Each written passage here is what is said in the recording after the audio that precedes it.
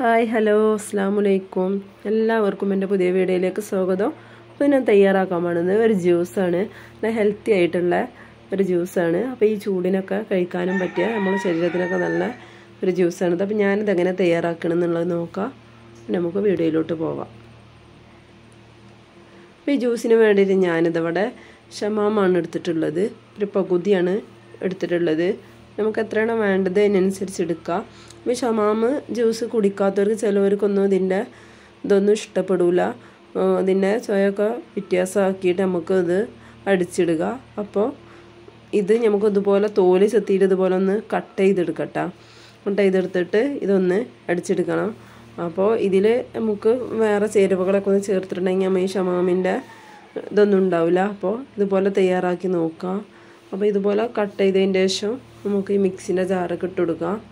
അപ്പോൾ അതുപോലെ ചെറുതാക്കിയിട്ട് തന്നെ കട്ട് ചെയ്തിട്ട് കൊടുക്കുക എന്നാലേ അരഞ്ഞ് കിട്ടുള്ളൂ. അപ്പോൾ നന്നായിട്ട് തന്നെ ജ്യൂസ് ആകുമ്പോൾ അരച്ചെടുക്കണം അപ്പോൾ ഇതിലേക്ക് ഞാനിതാ ഇത്രയും ഈത്തപ്പഴം എടുത്തിട്ടുണ്ട്.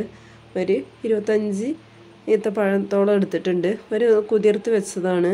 അപ്പോൾ പെട്ടെന്ന് തന്നെ അരഞ്ഞ് കിട്ടാൻ വേണ്ടിയിട്ട് ഒരു അഞ്ച് പത്ത് അണ്ടിപ്പരിപ്പും കൂടി ഇട്ട് കൊടുത്തിട്ടുണ്ട്.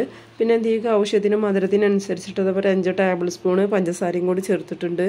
പിന്നെ ഞാൻ പാൽപ്പൊടി ഇട്ടെടുക്കണില്ല. പാലാണ് ഞാനിവിടെ പാൽ ഫ്രിഡ്ജ് ഫ്രീസറിൽ വെച്ചിട്ടൊന്ന് തണുപ്പിച്ചതുപോലെ കട്ടകളാക്കി എടുത്തതാണ് അപ്പോൾ അതാ വേണമെന്നുണ്ടെങ്കിൽ പാൽപ്പൊടി ചേർത്ത് കൊടുക്കുക പാൽപ്പൊടിന്റെ ആവശ്യമില്ല നല്ല കട്ടിയുള്ള പാലാണ് ഞാൻ ചേർത്ത് കൊടുക്കുന്നത് നമുക്കൊരു ഫ്ലേവറിന് വേണ്ടിയിട്ട് ഏലക്കാപ്പൊടി കൊടുക്കുക ഒരു അര ടീസ്പൂണോളം ഏലക്കാപ്പൊടി ഇട്ട് കൊടുത്തിട്ടുണ്ട് പഞ്ചസാര കൂട്ടി പൊടിച്ചതായ കാരണം.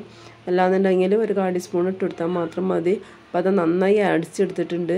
അപ്പോൾ അത് നമുക്ക് ഗ്ലാസ് കഴിച്ചു കൊടുക്കുക അപ്പോൾ അത്രയും കട്ടിയിലാണ് വേണ്ടത്. ഇപ്പോൾ ഷമാമൊക്കെ കുടിക്കാത്തവരുണ്ടെന്നുണ്ടെങ്കിൽ ഇതുപോലൊക്കെ ഒന്ന് അടിച്ചു നോക്കുക. അപ്പോൾ എല്ലാവർക്കും നല്ല ഇഷ്ടമാവും അപ്പോൾ ചെറിയ തരി തരിപ്പോട് കൂടിയിട്ടാണ് ഞാനിന്നിവിടെ അടിച്ചെടുത്തിട്ടുണ്ട്. അതുപോലെ തന്നെ അത് അടിച്ചെടുത്തതിന് ശേഷം ഞാൻ കുറച്ച് അണ്ടിപ്പരിപ്പ് ചെറുതായി കഷ്ണാക്കി ഇട്ട് കൊടുത്തിരുന്നു. കുട്ടികളൊക്കെ കഴിക്കാൻ വേണ്ടിയിട്ട്. പിന്നെ അതുപോലെ അതാ ഐസ് ക്യൂബ് വേണമെന്നുണ്ടെങ്കിൽ ഇതുപോലെ ഇട്ടിടുക അപ്പോൾ അടിപൊളിയായിട്ടുള്ള ജ്യൂസാണ് അപ്പോൾ നമുക്ക് ഈ ചൂടിനൊക്കെ കഴിക്കാനും പറ്റും. ചമ്മാമ്പ് കുടിക്കാത്തവർക്കൊക്കെ കുടിക്കുമ്പോഴത്തെ അതിനും പറ്റിയ നല്ലൊരു അടിപൊളിയായിട്ടുള്ള ജ്യൂസാണിത്. അപ്പോൾ എല്ലാവരും ഇതുപോലെ തയ്യാറാക്കി വെക്കുക വീഡിയോ എത്ര ഉള്ളൂ. ഇഷ്ടമായ ലൈക്ക് ചെയ്യാനും ഷെയർ ചെയ്യാനും കമന്റ് ചെയ്യാനൊന്നും മറക്കരുത്.